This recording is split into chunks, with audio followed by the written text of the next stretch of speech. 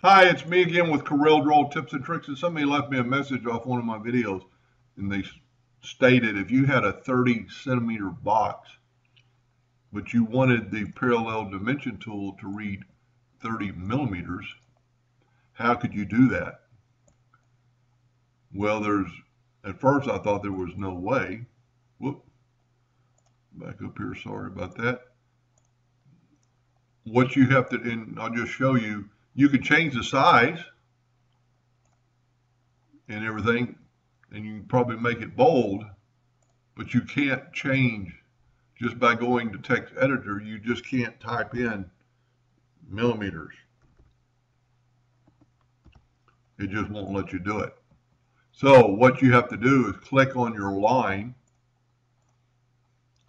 go up to arrange and break dimension apart. Then you can go to your text editor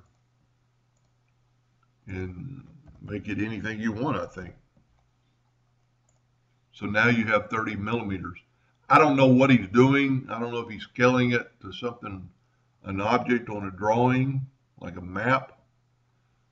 But that's the only way to do it. It would be to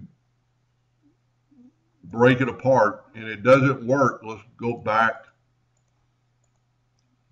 it doesn't work if you click on the text, it's not there.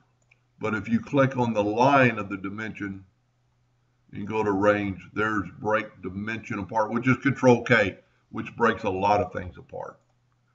Basically, it's breaking the text away from that dimension.